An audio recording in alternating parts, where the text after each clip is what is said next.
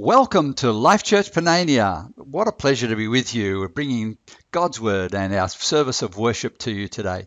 Our theme is going to be overcoming anxiety, and we're going to turn to God's Word to find how to do that. We have the privilege of guiding you through our worship today. I'm Ian. And I'm Eleanor. And we're going to begin our time with prayer. Father, we bow in your presence, confident that you love us, you care for us, you want the best for us, you're going to rescue us from anxiety, from ourselves, and from this world. And so we commit our time of worship to you in Jesus' name. Amen. We honor Jesus because although he is Lord of eternity, he dwells in humanity and kneels in humility. Let's praise him in song.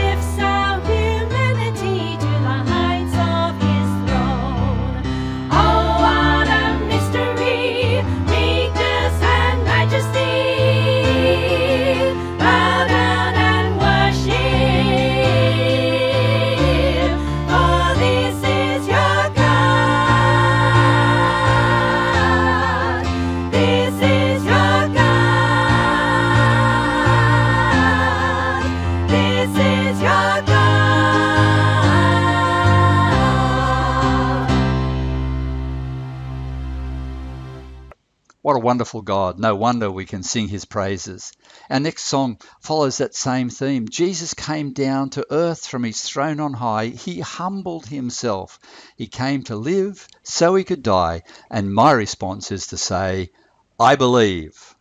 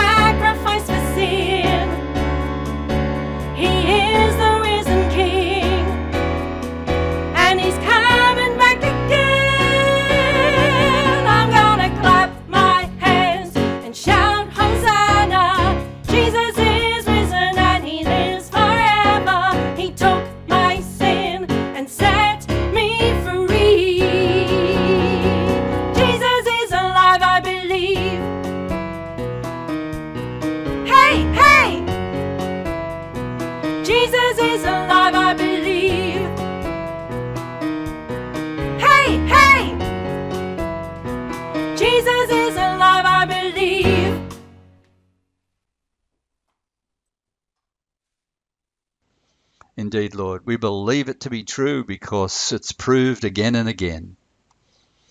Uh, what do we need to know about? What's coming up? What's the news? And it's this.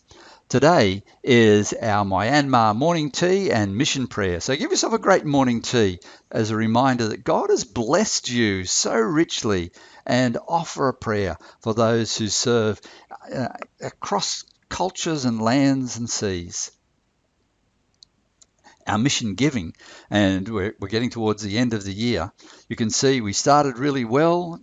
COVID and the lockdown has uh, had an impact, but we're looking forward to some great, strong giving towards the end of the year so we can meet our target, give the kids food on the table, and clothes on their back.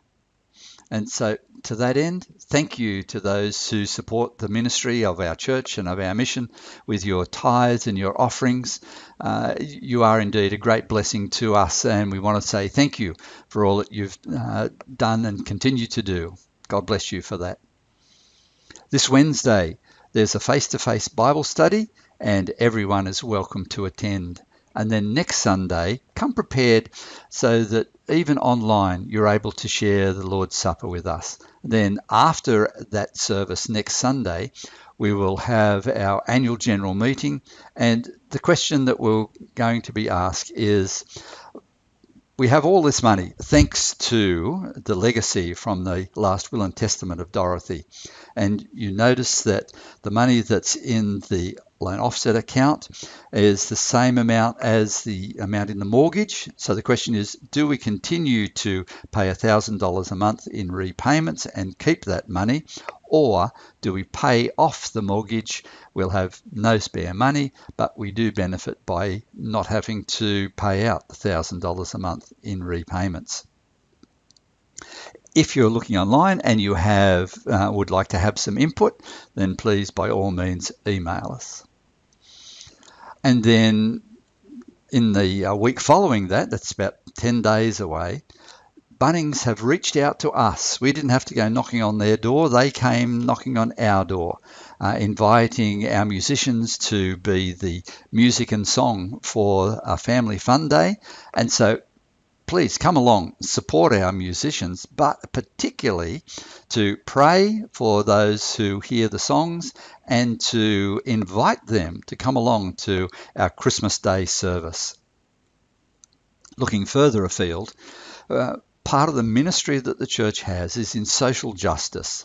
Thus says the Lord, do justice and righteousness and deliver from the hand of the oppressor.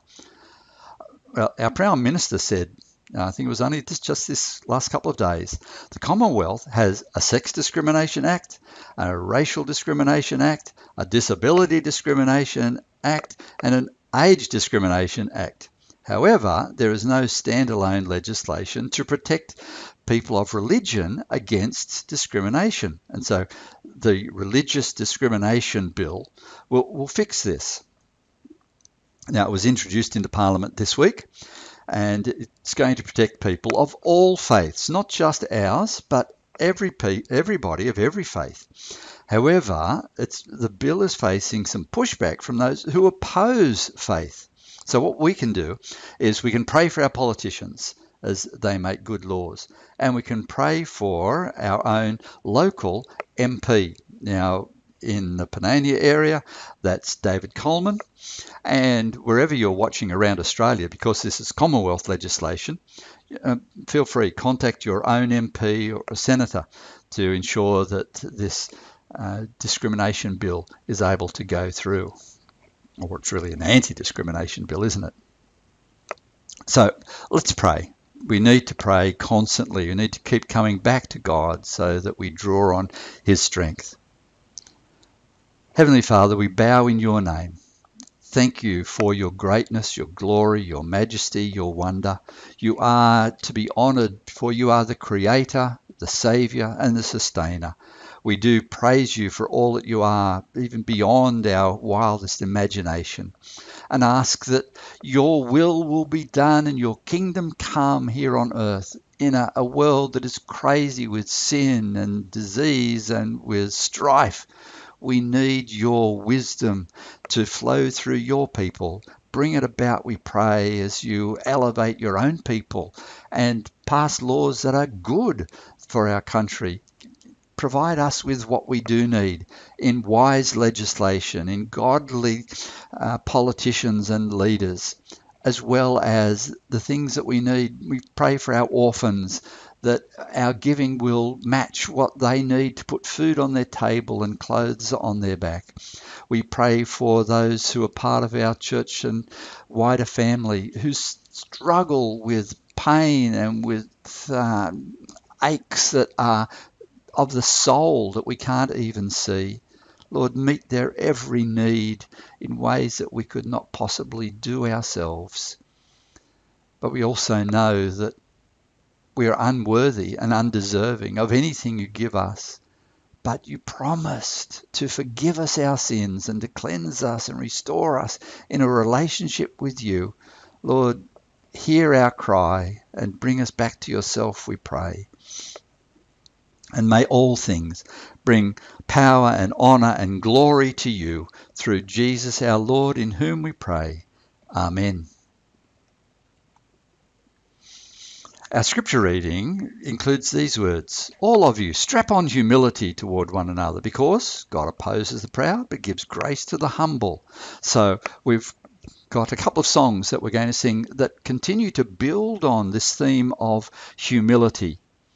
The first of them is this God's word says, Humble yourself.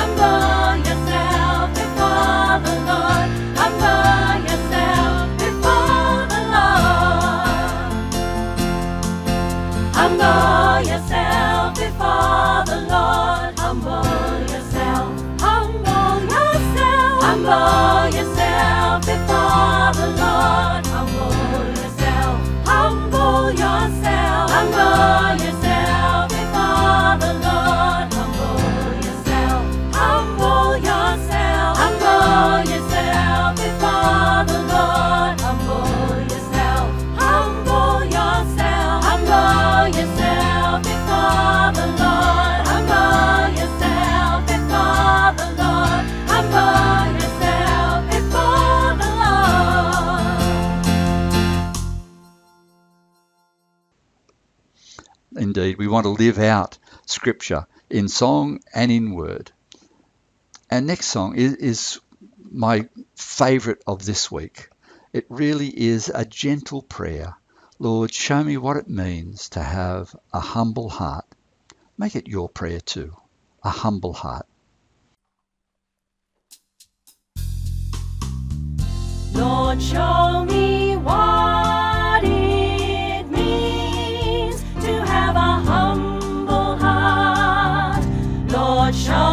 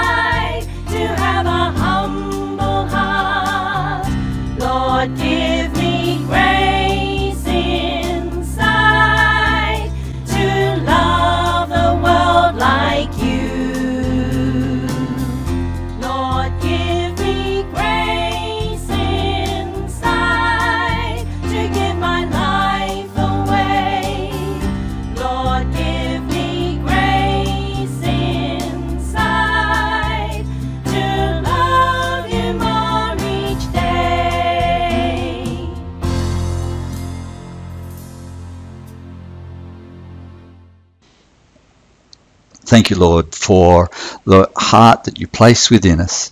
And now we come to open up God's Word. It's found in 1 Peter chapter 5 and verses 5 through 7.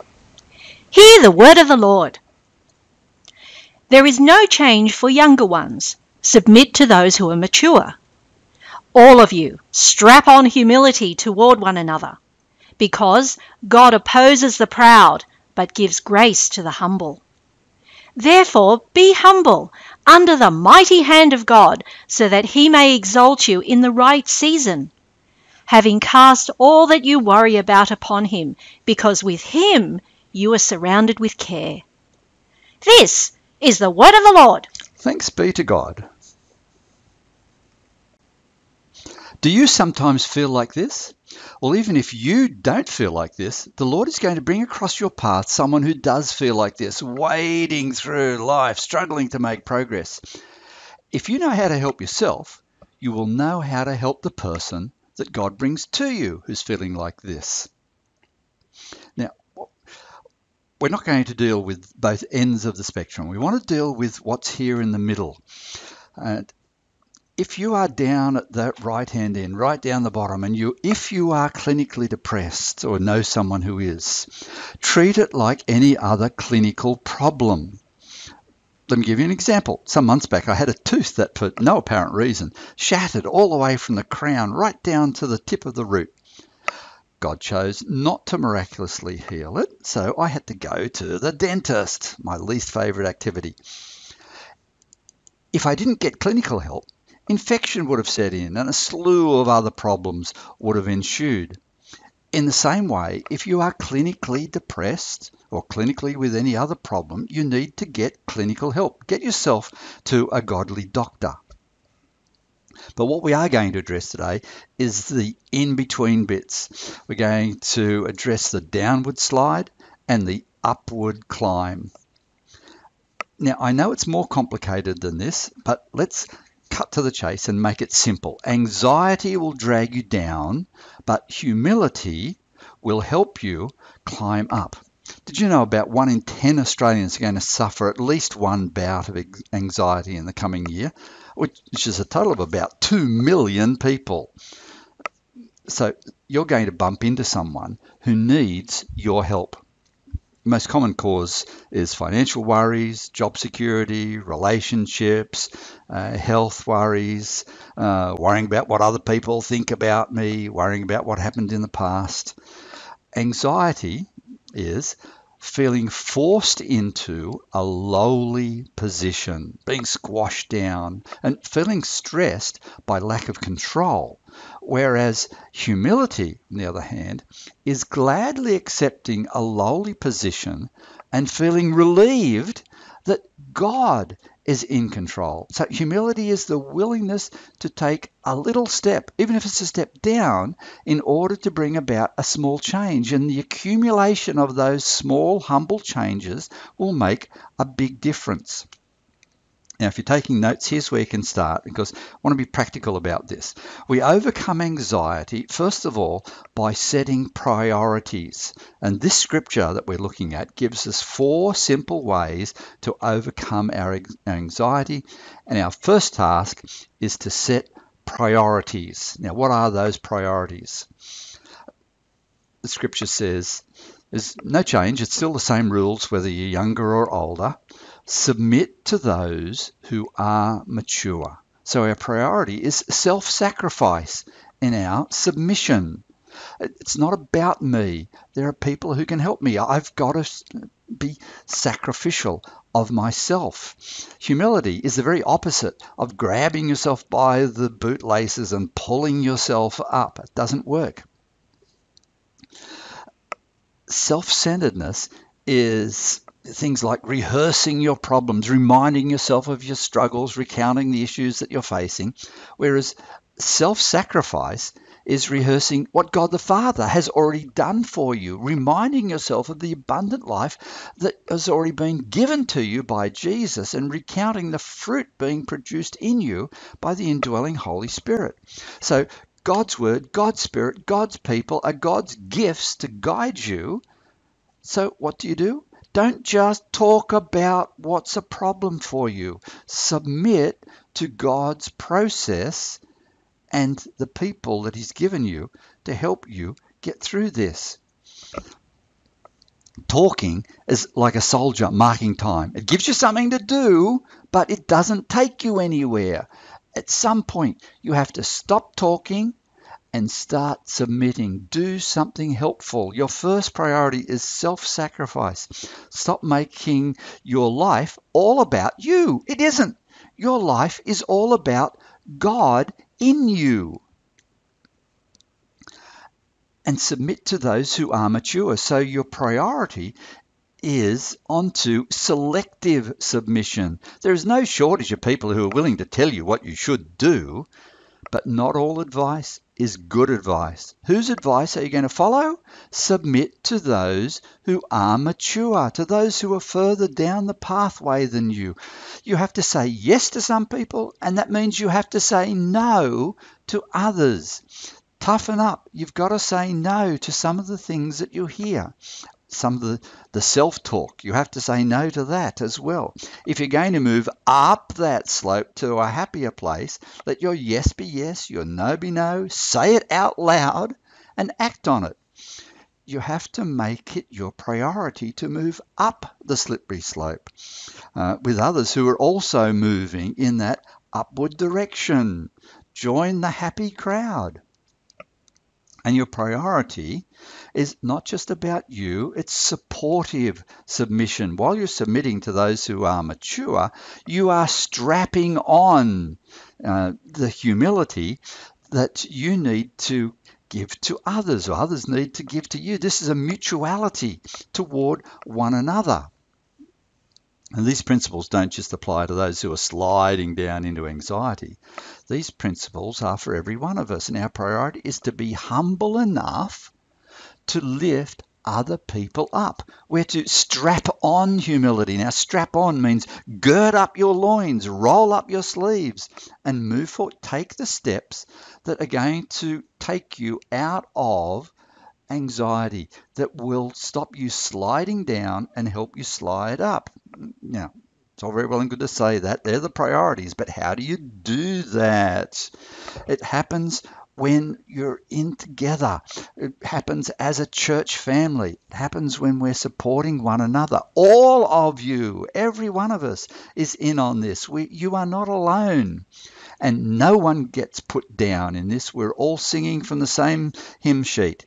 Humility means life is not all about you. It's about God in you, and we are together singing that celebration. Sing that celebration out loud. It will put the brakes on sliding down. So, how are we going to do that? We overcome anxiety with a key principle.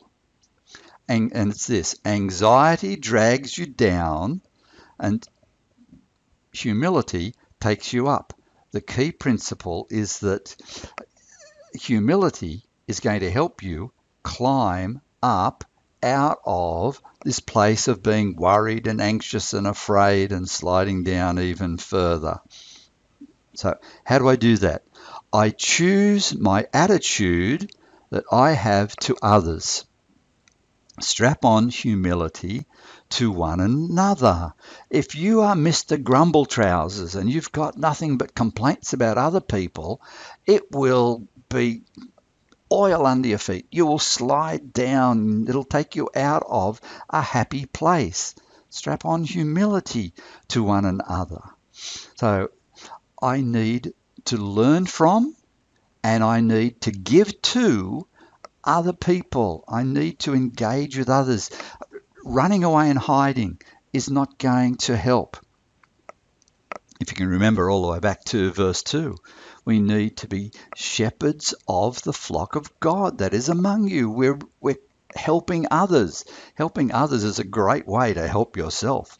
Keeping diligent oversight of them. Don't make it about you. Help someone else. I choose my attitude to others, but I also need to choose my attitude to God because God opposes the proud but gives grace to the humble. It's a quote from the book of Proverbs. Now, it looks like God opposes the proud and gives grace to the humble. He does. God has set in that God has set, He's also set His attitude towards me, and His attitude is love as well as fixing his attitude towards sin and virtues. Now, it might look like God keeps changing his mind about us, but it isn't God who's changing. Who is it? It's us, and we need to keep on pulling ourselves to the place of humility. And that way, God is able to give us grace to be able to move up the slope. And I choose my attitude, not only to others, not only to God, but also my attitude to myself. And it should come as no surprise that we are told to be humble. As we saw last week, for the Christian, humility is absolutely indispensable. Without humility, there can be no self knowledge. Without humility, there can be no repentance. Without humility, there can be no faith. Without humility, there can be no salvation. You see how those roll on naturally, where that's a, a sensible order to have. So, how are we going to put this into practice? We overcome anxiety for a helpful purpose. It's not about me, it's for a helpful purpose. And what is that purpose? First of all, I have a priority, which is submit in self sacrifice. I have a principle, which is to be humble. And now, this helpful purpose. And what is the purpose? Well, it's also threefold here in this verse. God is the right strength that I need. I'm to be humble, but I'm to be humble under the mighty hand of God. God is my first priority to choose to submit myself to Him. a lovely verse. You might have even memorized this one. Jesus said, I am the vine, you are the branches. If you abide in me, and then I can abide in you, you will bear much fruit. For, because apart from me, you can do nothing. If we are going to move up the slope, if we are going to enjoy the life that God has got for us, if we're going to escape from the terrible things that are emotional and physical turmoil, then we need to abide in Christ, humble ourselves into Him, and we will find that we become fruitful. For this strength is found in humility. And when we are humble, God adds His strength to lift us up beyond anxieties and worries and apprehension, up into a better place. When you choose humility, you allow God to add His strength to your efforts. Now, we're going to do something about that. God is also my right direction. He is taking me somewhere. He wants to take me up the slope. And says, Therefore be humble under the mighty hand of God, so that he may exalt you, so that he can take you in the better direction, so he can take you in the upward direction. Now, upward direction is not entirely towards necessarily a perfect place. Uh, uh, that'll be heaven eventually. Anxiety will drag you down out of your green zone, your good zone. Humility will help you climb back up into your green zone. Notice here that the green zone is not always just happy.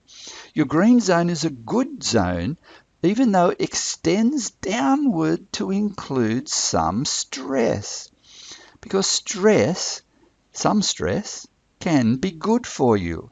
Stress reminds me that I need to pray. Stress reminds me that without Jesus, I can do nothing fruitful. So don't expect perfection in an imperfect world, but be humble enough to climb back up into a better place.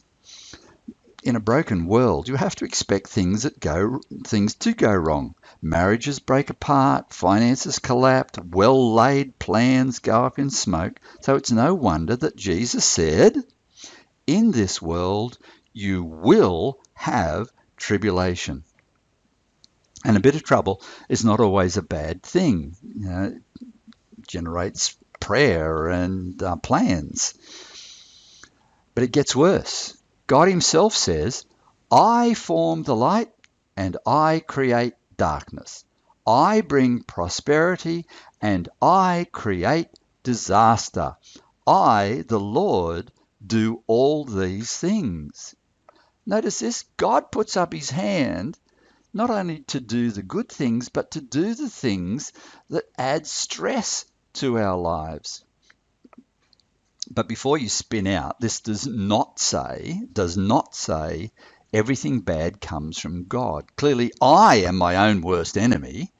And then I've also got the world, the flesh, and the devil against me. But sometimes God is the one who shakes my perch and makes me realize that without Him, I can do nothing. So, anxiety makes me look outward, look at, look at the problems of the world, look at the things that are bearing in on me, look at my circumstances, whereas humility helps me to look upward. Now, there's a classic example of this, and it's Mary and Martha. Martha was distracted, you know, looking at the outward, by all the preparations to be made. She came to Jesus and said, Lord, don't you care that my sister has left me to serve alone? Tell her to help me. Martha, Martha, the Lord replied, You are anxious and upset by many things. You've slid down, and it's no longer about God, it's uh, in you. Now it's about you in your circumstances. This, this word anxiety that Jesus said, uh, Martha, you're anxious. The word anxiety comes up quite a number of times in Scripture.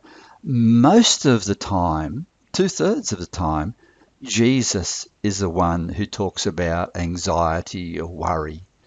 So it's only natural we go back to Him and find in Him the peace that we need. Now, this word anxiety means to be drawn in opposite directions, to be divided into parts, to be pulled to pieces, pulled apart, divided, distracted. You know what that's like. That's not what God's got for you. That's not what Jesus does. He pulls things together. And so we have God is my right strength, God is my right direction, and now God is my right time. Be humble so that He can exalt you in the right season. New Testament's got two words that it uses for time. Uh, one of them is the sort of time you use in a stopwatch, uh, and, and, that's the word chronos. It gives us chronology and a chronometer, which is a fancy name for a watch. Um, minutes and seconds tick away, but that's not the word that's used here. The other word that the New Testament uses for time is kairos, and it means a season or a period or a stage. And so God is going to lift us up but it will be in the right season, the right period. He will do the thing that we need him to do, or we think we need him to do.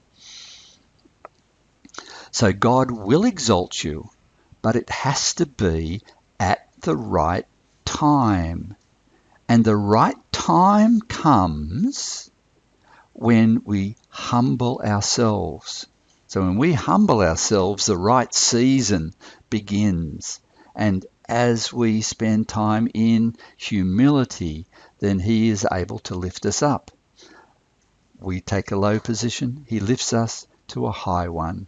God's not a magician performing magic tricks for our amusement, even though we often treat Him like that. We want the instant results. But the journey up the slope takes time and at the right time, then you'll find that your humility will result in God lifting you up. So there's, there's, one more thing that we need to look at. We overcome anxiety by facing up to the problems that are around us. It's not just about, oh, I'll pray and I'll, I'll submit to God and they'll all just evaporate. We also need to address the problems that we are facing. The Bible is always practical in this way. And so the first thing we need to do is address all your anxiety. Now, it's having cast all that you worry about upon Him. And you're facing a mountain, a mountain of worries. You will find that the mountain is made up of lots of pebbles. Name each pebble. Deal with each pebble. Don't deal with the mountain, deal with the pebbles and address them one at a time and address all of them. Yes, it will take time. That's why it's a season and not an instant. Address your anxieties and address all that you worry about when you identify and specify the various parts of the problems that you're facing, you engage in divide and conquer. Your, your worries start to fall apart. Instead of you falling apart, pull your worries apart. You'll find it makes all the difference. And then account for all that you achieve. You're making progress already. Recognize the good that you've already achieved this says, having cast all that you worry about upon him, having cast all your anxieties upon him. You've already done part of the work. Continue on. Don't slow down. Keep going. And what you can do then is to celebrate and give thanks for each pebble that you deal with. It's been picked up out of your mountain of worry and you've thrown it to Jesus. He has caught it and He's dealing with it. He's already dealt with your sin, He's already dealt with your eternity. He can deal with the other little things that you throw to Him.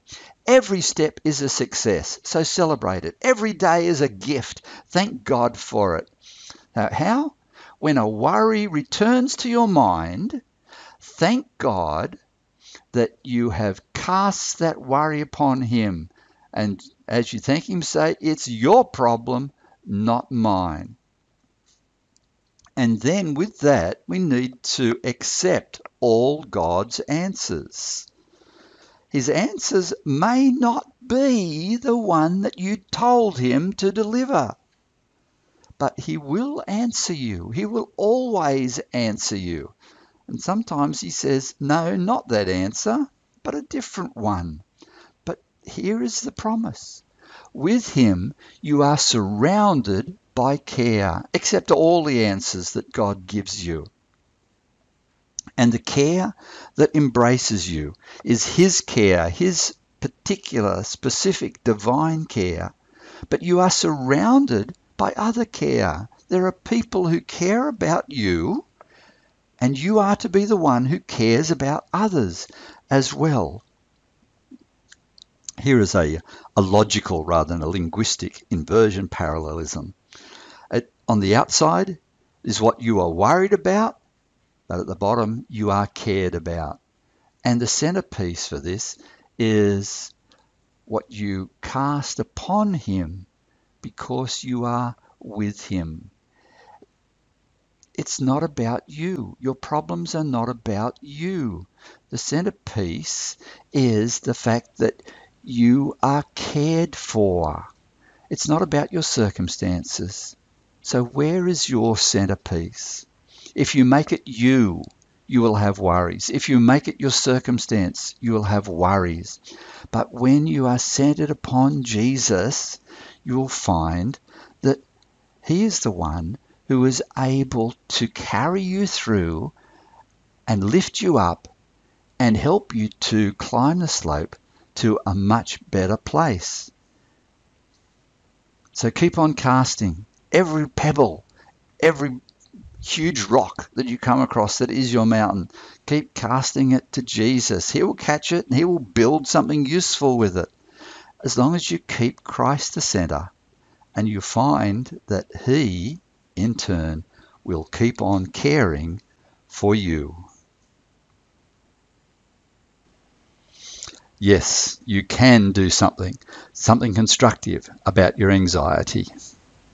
And our song of response then is we can cast all our care upon Him and we can trust Him because He cares for us. You can trust Him.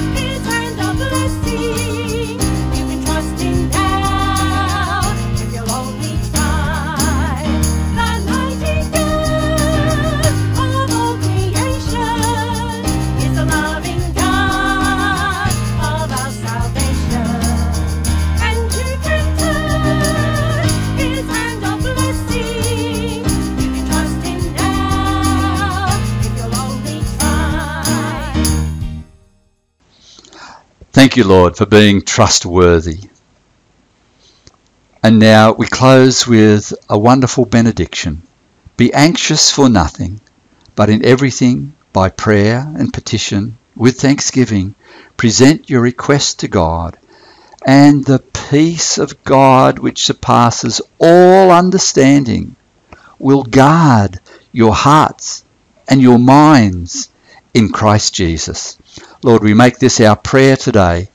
We want to come to you with our prayers and our thanks for what you've done, for what you are doing, and for what you will do in accordance with your promise in your word. And we would claim and make your peace our peace in our hearts and our minds through Jesus' name. Amen. If you've benefited out of this or you know someone who will benefit, someone who struggles with anxiety, you might like to share this with them. And until we can meet again, either through the internet or face to face, the Lord bless you, keep you, and make you a follower of Jesus as you seek to know Him through and through. God bless. Goodbye for now.